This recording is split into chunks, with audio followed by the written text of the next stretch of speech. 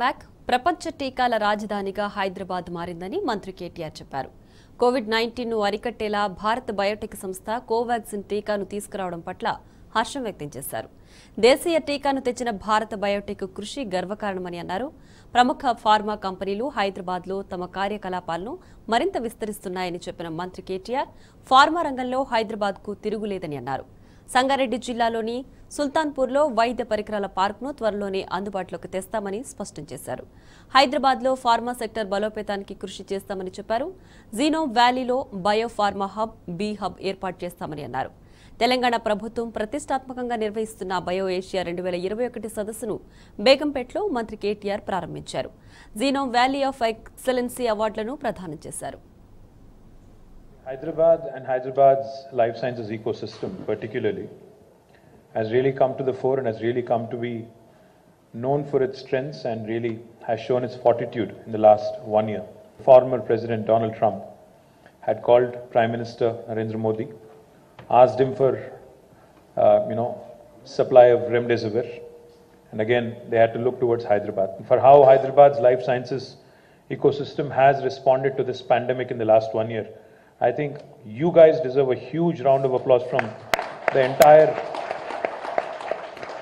and not just the entire administration, but I think from the entire, you know, uh, humanity, not just in Hyderabad, but across the world as well. So my compliments, my congratulations on all the efforts that have been put in in the last one year. BioAsia 2021 marks the 18th edition of this prestigious annual flagship event, and I'm extremely pleased that we have continued to hold this tradition by conducting the event even in the midst of this pandemic. As the world is walking a perilous path to fight one of the most challenging health crises of our times, I strongly believe that the deliberations at this year's event will be more relevant and more contextual than ever. 2020 has had a profound and a long lasting impact on lives around the world. The economic and social disruption caused by the pandemic is devastating, with over 2.45 million human lives lost globally. That is 24.5 lakh people losing their lives globally. I take pride whenever I speak in saying that Hyderabad rose to the occasion and made an impact for the world to witness. Our position as the vaccine capital of the world, let me reiterate again, vaccine capital of the world, was further bolstered, and it is a matter of great pride that the world is looking towards India and particularly towards Hyderabad. To Genome Valley is a testimony to the cluster's significance in the global context today. Bharat Biotech's remarkable contribution and commitment to develop India's first indigenous vaccine for COVID 19 is absolutely laudable. And once again, I think Dr. Krishna Ella and Suchitra and the entire team deserve our compliments. In addition, I'm happy to note that Hetero Pharma and Dr. Reddy's are augmenting the global supply by manufacturing and distributing the Russian vaccine Sputnik. Further, Aurobindo Pharma, again a Hyderabad based company, is building a world class vaccine manufacturing facility with a capacity of about 450 million doses annually. All these highlight and augment the position of Hyderabad as the vaccine capital of the world. I'm extremely confident that significant global population will be immunized with vaccines produced in Hyderabad. This is no small feat to accomplish.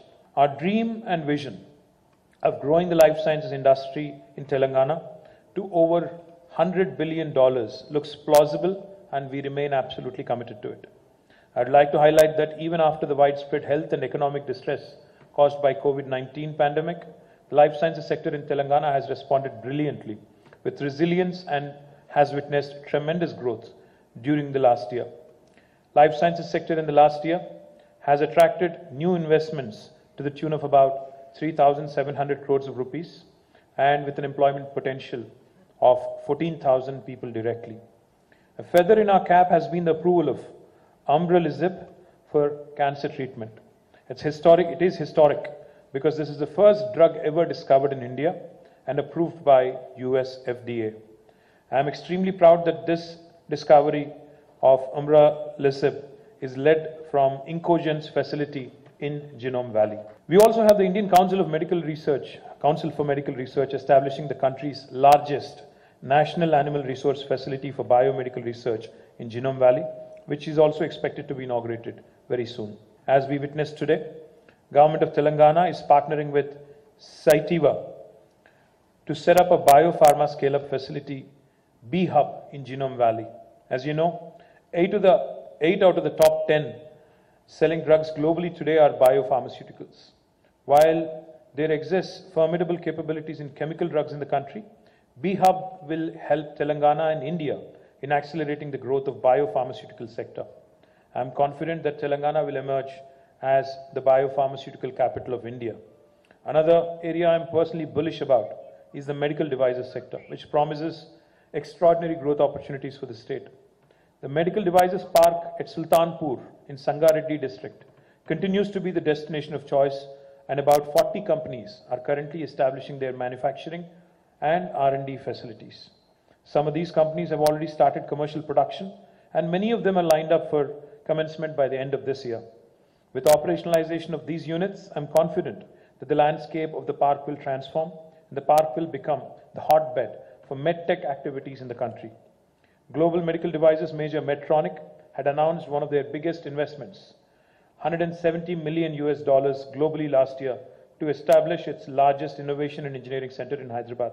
On the pharma front, we remain committed to grounding the Hyderabad Pharma City project soon to support India's pharma industry again to regain its leadership position in APIs and KSMs, offering significant cost and value benefits.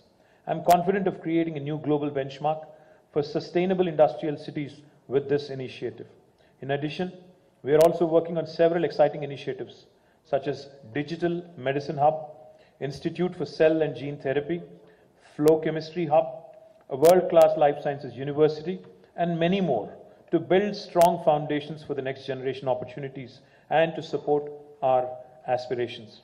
As you can see, we have a holistic vision and approach to growing this sector with focus on today's needs and all, as well as future opportunities. I hope you'll all have an engaging and thought-provoking time at this event over the next two days. Let's together move the needle to improve global health. Thank you very much.